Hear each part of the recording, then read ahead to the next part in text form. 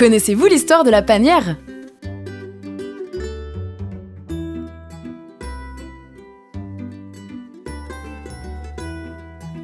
Dans les années 60, Gérard Canteneau, issu d'une grande famille de meuniers, transforme le blé dans sa minoterie d'Annecy.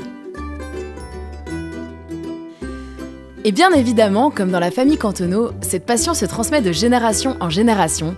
Son fils Pascal le rejoint dans l'aventure. En 1984, ils achètent ensemble la panification moderne. À cette époque, on y fabrique du pain que l'on cuit pour fournir les hôtels, restaurants et même les supermarchés de la région. Mais par la suite, les habitudes et les choses changent. Le consommateur souhaite faire l'expérience d'un produit fraîchement cuit sous ses yeux.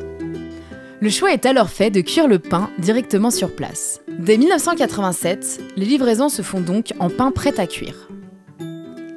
L'évolution ne s'arrête pas là, car Pascal a l'idée de créer un concept de boulangerie original. C'est en 1993 que cette idée prend vie. Il transforme une supérette repérée des années auparavant en boulangerie. Le premier magasin La Panière est né.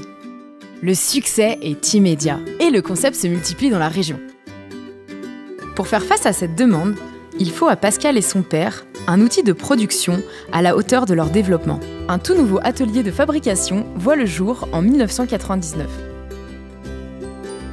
Le développement se poursuit les 20 années suivantes.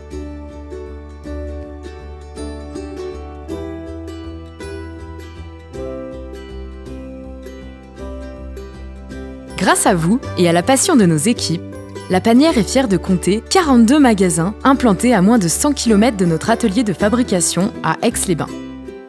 Nous sommes engagés pour le bio depuis 2009, engagés dans le commerce équitable et engagés auprès des Restos du Cœur.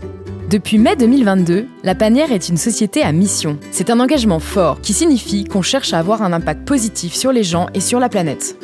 La Panière s'engage pour le bon.